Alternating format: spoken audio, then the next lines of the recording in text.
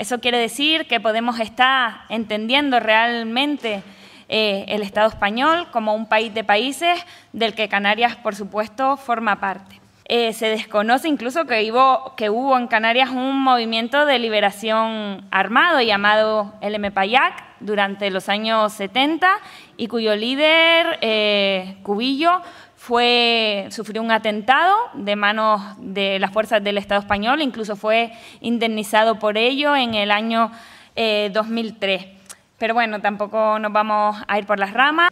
Somos además punto de encuentro entre el nuevo y el viejo mundo desde que Cristóbal Colón eh, nos eligió como plataforma para zarpar hacia las Américas. ¿Por qué no afecta además a Canarias? Porque Canarias no debemos cuestionarnos la unidad territorial. Evidentemente, en nuestro territorio no existe. Eh, tampoco nos cuestionamos la independencia porque somos un territorio que ya éramos independientes y fuimos conquistados, evidentemente, a sangre y fuego.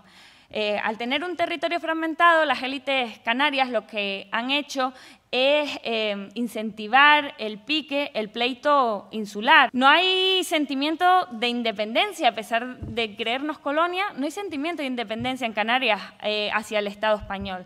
Eh, o el sentimiento, el sentimiento independentista realmente es residual. nosotros lo que sí queremos es ver qué tipo de relación queremos establecer en el futuro con el Estado español si va a ser un Estado federal, si vamos a ser un archipiélago de Estado y así podemos eh, tener nuestras aguas internas, que hoy, hoy, en día son aguas internacionales, y así evitar conflictos como el de Repsol, o incluso nos planteamos el ser un Estado libre asociado como puede ser Puerto Rico con Estados Unidos.